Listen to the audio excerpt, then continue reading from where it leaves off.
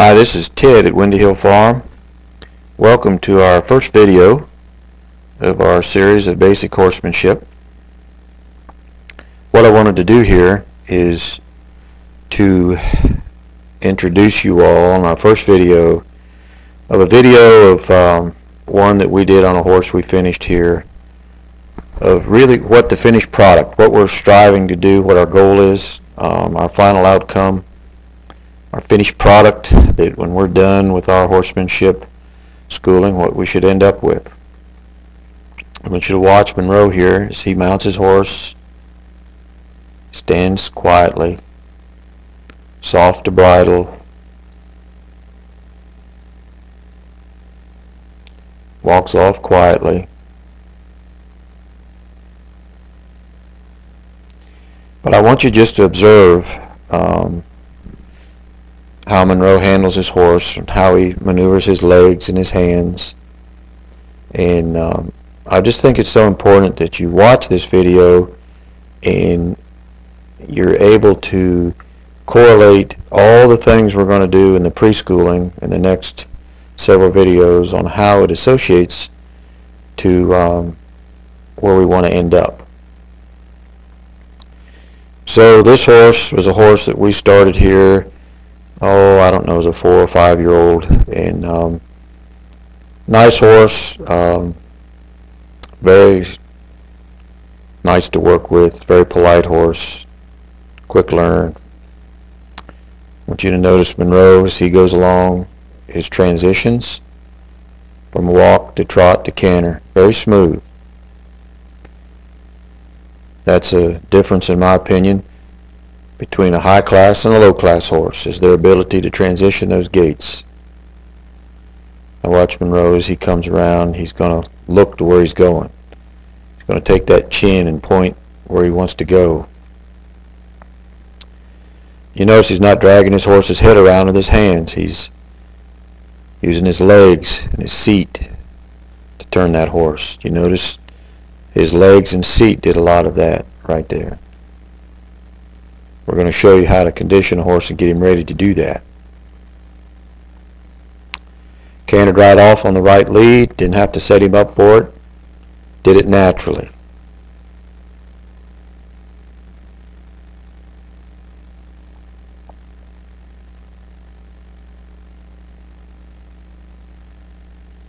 Uses his feet and his seat to stop his horse. His body language, his posture. Leg yields. See how that horse will sidestep and a half pass. We like to half pass our horses before we side pass them.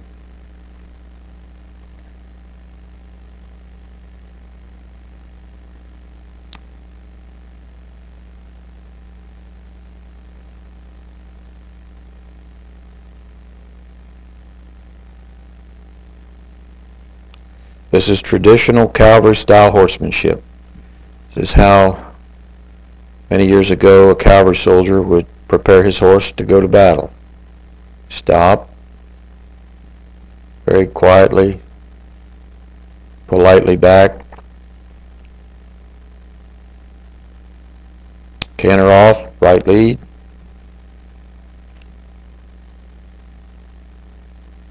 Very good. This is the garrocha pole. This is how the medieval knights used to school their horses for battle. And I'm here to tell you, if you can canter that circle with that pole, you're an operator. Should try it one time at home.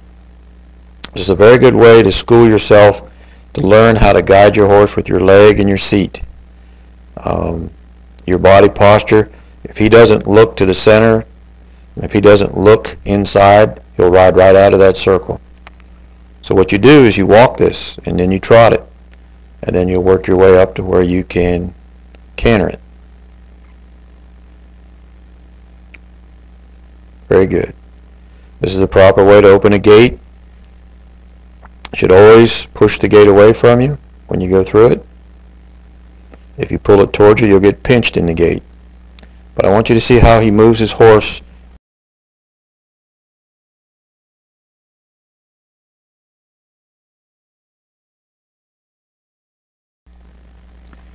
Monroe moved his horse over with his leg. Watch, he's going to turn his pivot on the front.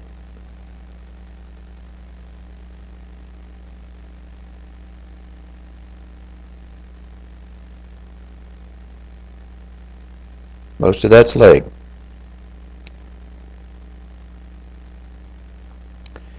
Now, one thing I want to point out when we do these obstacles that uh, it, there's more to it than um, just the obstacles. This is all about your horse saying yes. This is all about your horse saying, I trust you, I know I'm not going to get hurt.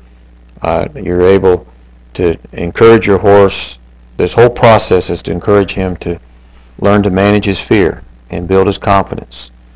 It's really not about mailboxes and horse trailers and tie, cross ties and noodle walkthroughs and so on. That horse has been properly conditioned to manage his fear. And hopefully, um, in his life, where he's at now, he will serve his new owner in a very reliable, safe way.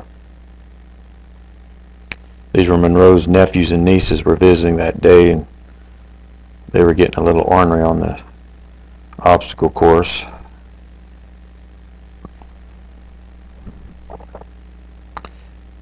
But we back him right through those obstacles too. If he can go through it forward, he ought to be able to do it backwards.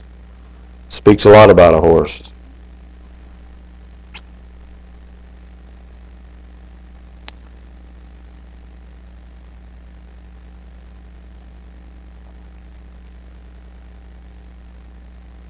See how he takes his leg and moves his horse around those stones? That's how when you trail ride, that's how you need to ride your horse. You need to guide with your leg 80% of the time.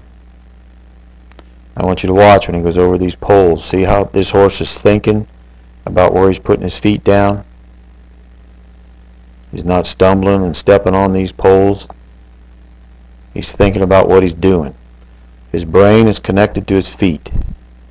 Very important. Very important. See how he's thinking about what he's doing?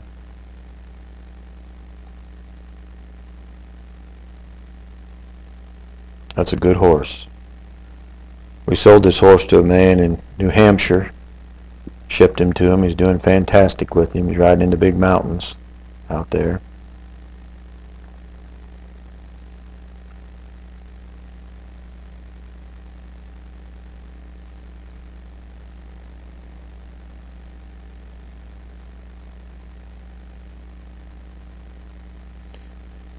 People ask me all the time, um, how do you train your horses to jump? Well, we're not hunter-jumper people. And uh, what I tell folks is how we teach our horses to jump is we encourage them and teach them not to refuse. Um, we want him to say yes. So if you take that approach, it's not about jumping. It's about saying yes, and it's not about refusing. It's about being forward, having forward motion.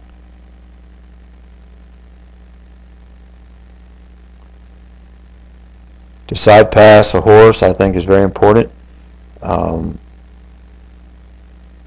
in your daily work with a horse on a ranch and what you do, you need to be able to move your horse over, and he needs to do it very willingly. Um, we're going to do a video on how to condition your horse to do that. But I want you to look at his body posture. I want to see where he's looking, and he's pushing with his left leg. He's not pounding with his spur. He's just asking. He's not telling. He's asking. It's a big difference there. See how his horse is soft in the and drops his nose. We're going to show you how to condition your horse to do that. Be soft. Get up under himself. Be supple. All our horses will load, unload, back off the trailer, in a very willing, very kind, obedient way. It's a very important process here.